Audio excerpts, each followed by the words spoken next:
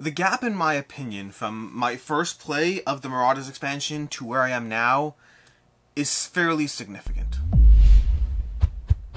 Hey, I'm Alex Ratcliffe from Board Game Co. and today I'm reviewing the Root, the Marauder expansion, and the Hireling box at the same time. These two things together, basically what the latest batch of Root has added, the latest Kickstarter, latest expansion have added to Root, less the new Autonomas. I don't I don't really play with those uh, single AI factions, and so I'm covering all of these, not any of those. I will, at some point in the near future, be doing a full comprehensive review of Root, basically base game and all the expansions, my experiences with it so far. I've talked about Root many times in the channel. I've never done a full dedicated review, so I'll try to do that, incorporating my full feelings of Root from base to everything. But for today, we're just talking about the Marauder expansion and the Hirelings box, what they do, what they add to Root, and then my opinions of the various elements of them, uh, which parts improve the experience, which parts I still have doubts about, and then we'll go from there. So, timestamps as usual, down below.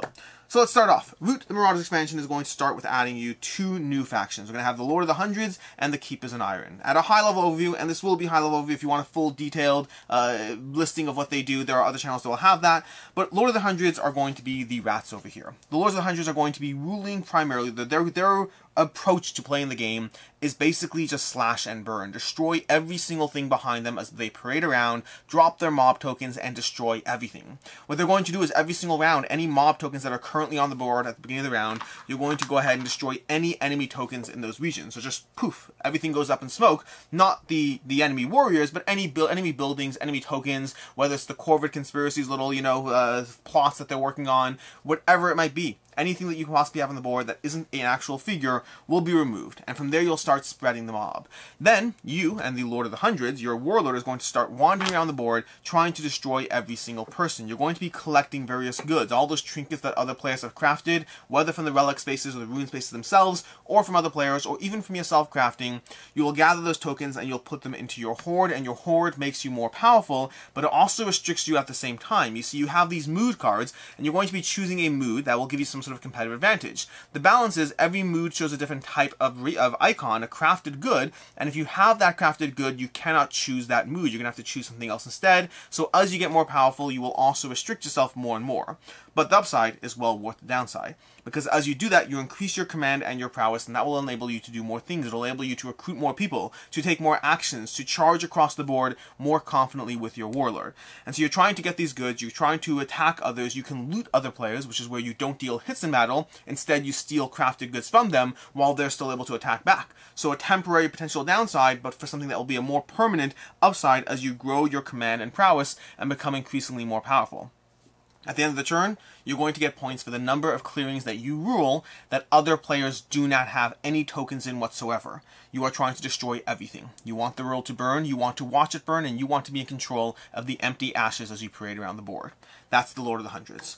From there we have the Keepers in Iron. The Keepers in Iron are going to be a very, very different approach. They like shiny things. That's what they do. They like shiny things. They're going to be hunting for relics of past battles. To start off the game, you're going to be setting up various relics into all the clearings on the board, and you are trying to extract those clearings and recover them. To that end, you're going to have a bit of a control system, similar to the Eyrie. Uh, you're going to have your something called your retinue, which is where you're going to start the board, start the game with three cards to slot into your into your areas, and those will allow you to do different things. They'll allow you to move, to battle, to delve, and then to move and recover but along the way you can add more cards to your retinue, allowing you to do more things. Moving is pretty simple. You move from one region to another.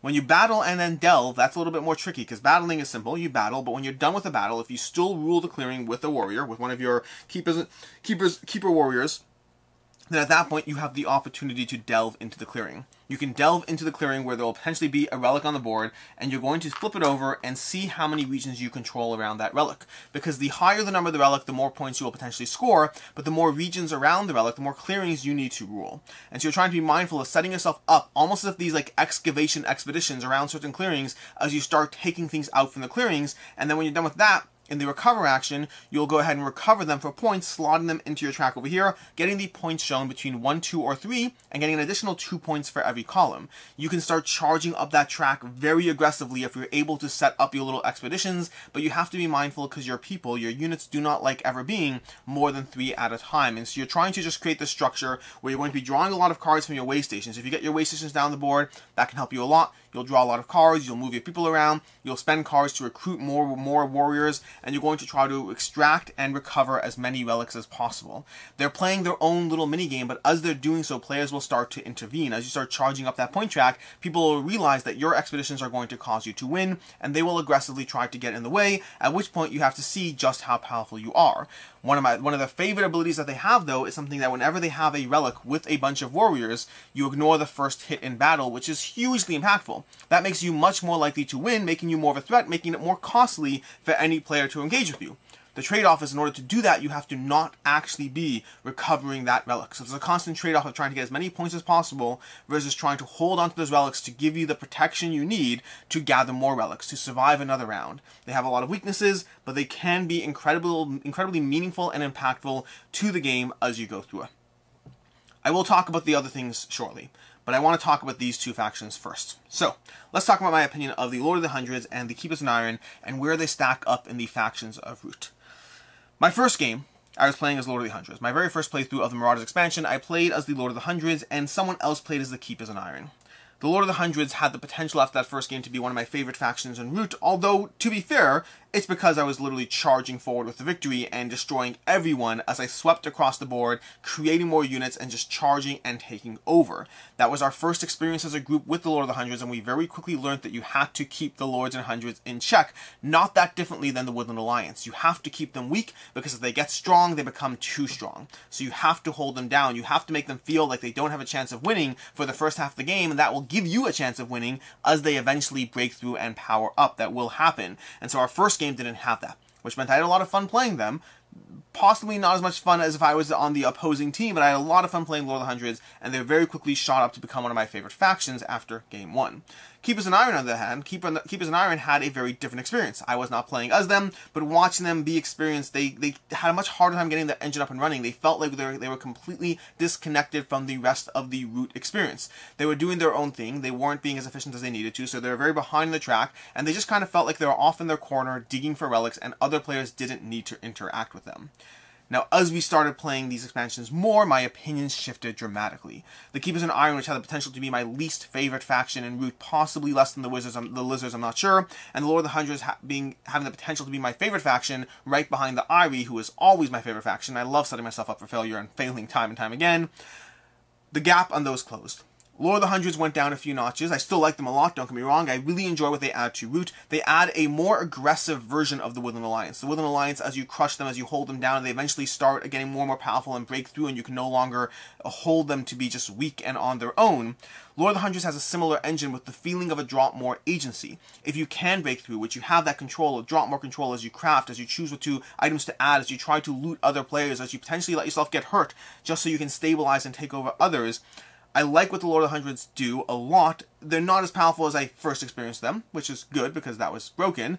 But as you know how to deal with them, as you know how to hold them in check, I really like the twist they bring, giving me the feeling of three different factions. They have the feeling of the Eyrie in the sense that if your warlord ever dies, you're going to kind of face an entire turn without being able to spawn half your units, and that can hurt your engine a lot. So you want to keep your warlord alive. You do not want to fail with them. So they have a little bit of the feeling of the Eyrie in that sense.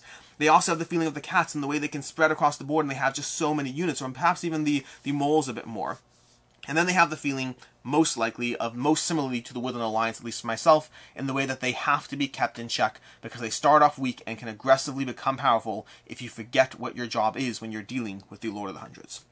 Then from there we have the Keepers in Iron. Keepers in Iron start off very not positive in what they were doing. But the problem is the Keepers in Iron, if you don't, as you start to learn how to play the Keepers in Iron, they actually have a very solid point engine running if you don't interfere. Our initial complaints and critiques around the Keepers in Iron came down to the fact that you can kind of just ignore them. They weren't strong enough in what they were doing, and they weren't interacting with other players. They were playing their own game, off in their own corner, digging for relics, and no one else cared.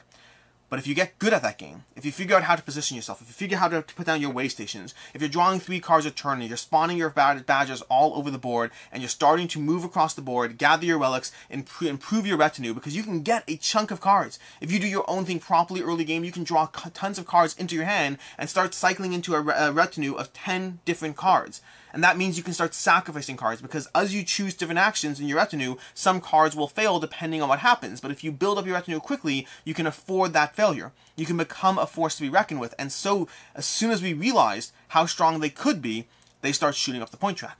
And as they start shooting at the point track, what quickly happens is other players have to get involved. So yes, while it's true that the Keepers in Iron are playing their own game, they are playing a powerful game. Similar to the Lord of the Hundreds to a, similar to the Keepers in Iron, similar to the Lord of the Hundreds to a degree, if you let them do their own thing, they will become unstoppable. So at a certain point, not as early or aggressively as with the Lord of the Hundreds, but at a certain point, you have to step in, you have to take control, and you have to try hurting their artifact engine. You have to start hurt, stopping them from gathering all those shiny things. And so the Lord, the Keepers in Iron quickly have grown in our opinion of them as we've encountered, as we've dealt with the fact that they are indeed a force to be reckoned with, as we've dealt with the fact that they do generate a lot of points, their entire positioning changed because they they are happy to sit in a corner on their own. They are happy to be undisturbed.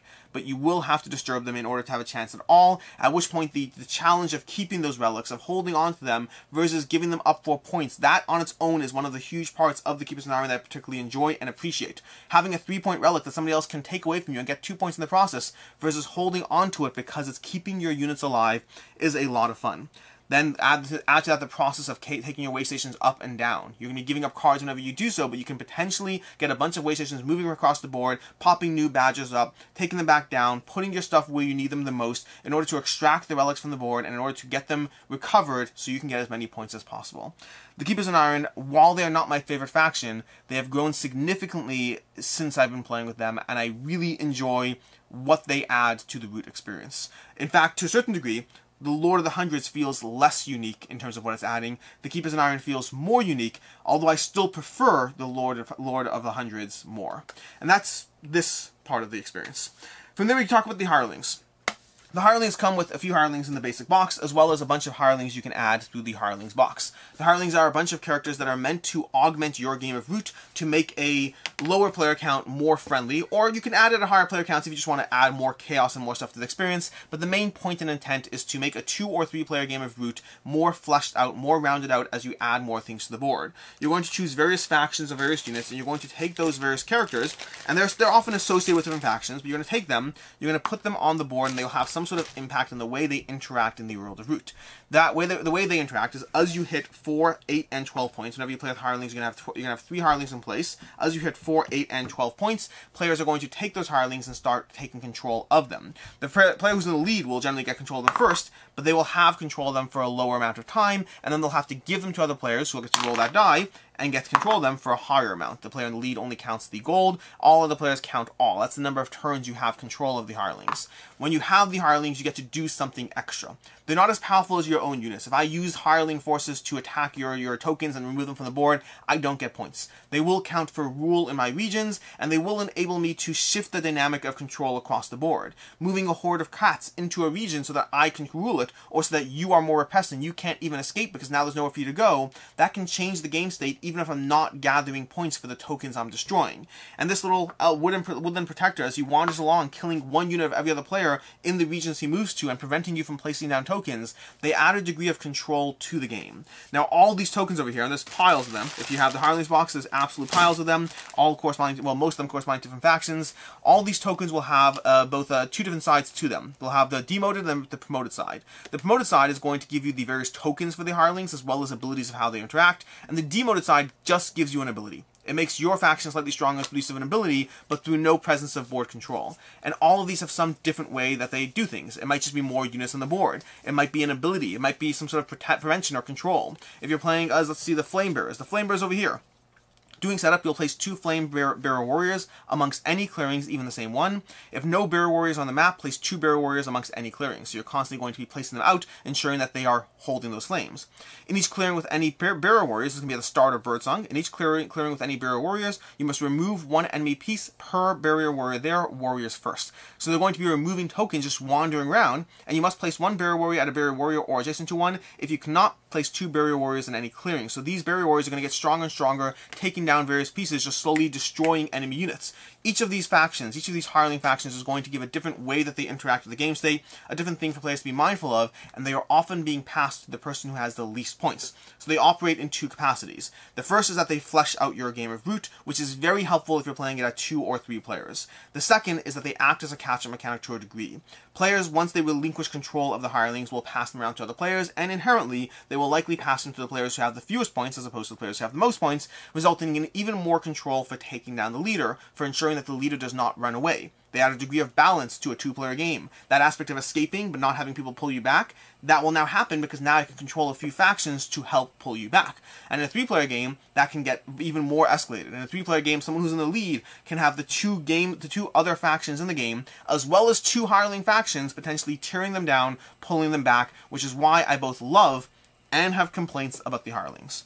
I love the variability that the Hirelings give to the game. I love, I love every single one of these cards. At least I haven't played with all of them yet, but I love every single one that I've played with so far. They all add something new. They take elements of who the characters are, who the factions are in your other games of Root, and they extract some small, minute element of them to the gameplay. And they give you something else to be mindful of at lower player counts. They flesh out the board, which is amazing. I will happily play Root at two or three players now easily. I've never played with the Autonoma factions. I don't love that quite as much. I'd rather play a different game. The Hirelings don't feel like Autonoma they feel like something else that really adds to your experience, and it flushes out the boards while giving you powers and abilities, which is excellent. The part that I hate, the part that I really don't like, and I haven't decided whether to house rule around it just yet, is specifically at three players, I find that the pull down the leader can get too dramatic. I'm not confident yet. I need more plays. I've had plays where it went well. I've had plays where it did not go so well. But inherently, Root to its very core is a game of pull down the leader. The problem is when you have pull down the leader, there's a balance of how much you want in a game. Pull down the leader a little bit gives the player the opportunity through clever play to outmaneuver their opponents, to persevere, and to gain the win. If you throw too much pull down the leader into a game, you end up with a situation, you end up with a game state in which the game is to pull down whoever you can as much as possible until eventually one player breaks through, and that can result in unsatisfying plays where you don't feel you earned your win, you feel you simply had too many people pulling down someone else, and then I, I scraped through. Lucky me. I find the Hirelings work excellently in a two-player game. In a three-player game, the aspect of passing them down to the player on the bottom, I find that it can result in having effectively four factions, or two factions plus two helpers, tearing down the person who's winning. Again, not all our plays, but certainly some of them, and I don't love that much pull down the leader. As of right now, we're currently debating whether to house rule, you know, you just pass them clockwise, or maybe whoever you pass them to, uh, I, I haven't figured out the exact option. Maybe when you pass, I don't know. There's got to be some point maneuver or some aspect of the game in which I can utilize the hirelings at a three-player count without it resulting in the risk that the person who's winning will not have a fun game because they will feel like they were pulled down not because the other players were better than them, but because you simply gave them too much power. And so while I love what the hirelings do, and I love how they interact with a two-player game, I currently have mixed thoughts on how they interact with a three-player game. Time will tell. I'm not ready to house rule just yet. I need more plays, I need more context, more experience with it, but right now I certainly have that doubt around them.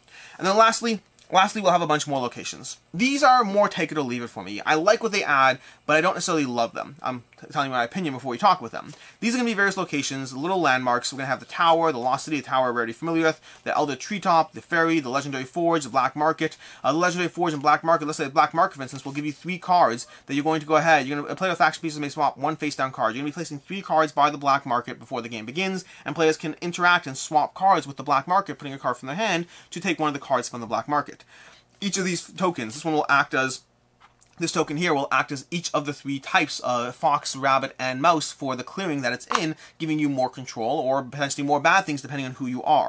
So all these cards give you another element that can interact with the game state. You can choose to have as many or as few as you like, and it gives you a little bit more chaos to the board, a little more something else to be happening in the game state. I like these. I never loved the landmarks. I can I appreciate that they can add to the experience of Root. They can add to the variability. Root is such a variable experience as it is, though, especially if you have all the all the expansions, which I currently do. That I don't necessarily need them. Don't get me wrong. I play with them and I enjoy them, but they're they're kind of like, hey, they're nice to have. I enjoy them, which is a good time to move into final thoughts on Root, the Hirelings, the Marauders. The Hirelings. Do you need this? Should you get this expansion? All of that. So the new factions. New factions, the very short opinion of all that is I really like the new factions. They both add something new to my experience, having elements of reminiscence to prior factions while being very different in their own right. If you like more faction variety in Root, if you find yourself wanting to have a little bit more eh, variety to the factions you can play as, I think they're both solid, both worth worth, pick, worth picking up, and I think the Lizards are still my least favorite faction uh, as of right now. As far as Hirelings, I think the Hirelings are huge. Uh, as far as whether you need them or not, it's a little different though, because if you like playing Root at two players, I think the Hirelings are amazing. I highly, highly recommend them. If you like playing Root at four players, I think the Hirelings are potentially fun to try to incorporate, but aren't as necessary and may make the game state a little more chaotic. I think for variety's sake, they're fun, but if you're enjoying the variety of Root in other elements, such as trying just different factions to begin with, I don't know if you need them at four players. Nice to have, certainly. Necessary, not as much. Three players, I, I'm pretty favorable on. Despite my, my caveats about it, I think that three players, it still makes three-player Root a better experience when you have the Hirelings involved. I have to figure out for ourselves as we continue to play it what house rules are necessary or not for our game group. But again, I need more plays. I, I, am always willing to house rule things, but I like a lot more plays under my belt before I take that step. For right now, I have enjoyed every single game I've played with the Hirelings, and I would say I've enjoyed every every three player game I've ever played with the Hirelings, I've enjoyed more than three player games without the Hirelings, even when I felt that someone was being pulled down, whether me or someone else. And so I think it still is a favorable addition, with caveats that I need time to adjust around, but still very favorable. So two or three players, I highly recommend getting the Hirelings. And then of course these over here, I like them, but they're not necessary. But I'm pretty sure they're not being sold on their own anyway, so that's kind of immaterial. So do you need this? Do you need these expansions or not? Well, I mean that's really your call, but I think that they are solid additions to what Root is bringing to your table. Uh, all of them I can easily recommend, and they will maintain Root. They, I would say, they they highly improve my opinion and rating of Root at a two or three player at a two or three player count, while otherwise just maintaining more of the same. As far as what that more of the same is, like I said already, I'll have a full review and everything about Root coming probably next week as I fully dive into my full Root experience, what I like, don't like, all those elements that I've found with these games over the past several years. Until next time, I'm Alex Radcliffe from Board Game Co. I hope you found this video helpful, and as always, have a good one.